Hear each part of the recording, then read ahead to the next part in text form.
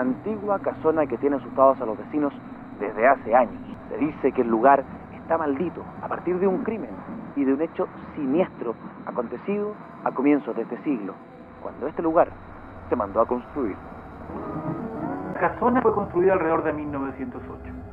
Al poco tiempo, el propietario se muda junto a su mujer.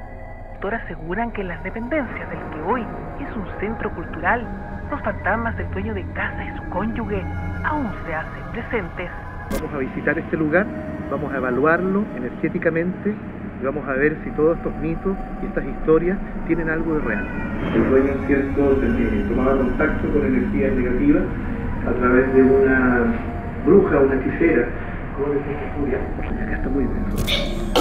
Inspector, ¿usted había escuchado hablar de esta casona? Sabes, Julita, esto es bastante serio. ¿eh? Y yo tuve experiencias directas, vivencias en el interior de esta casona. Y yo sentí vívidamente la presencia de algo inexplicable.